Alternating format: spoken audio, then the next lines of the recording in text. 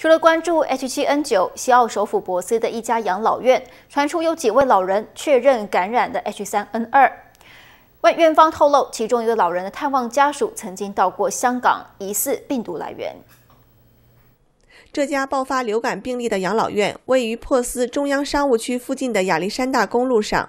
一月二日，里面的一位老人确认感染 H3N2 病毒。据内部员工透露，最早确诊感染 H3N2 病毒的老人叫艾伦。新年期间，艾伦家人来看望他的时候，他吃了他五岁孙女给他带来的巧克力，并亲了他的孙女几下。这个五岁的小女孩圣诞节期间曾去过香港，回澳洲时有流感症状。艾伦等看望他的家人走后，随即病倒。艾伦现在正在珀斯皇家医院接受治疗。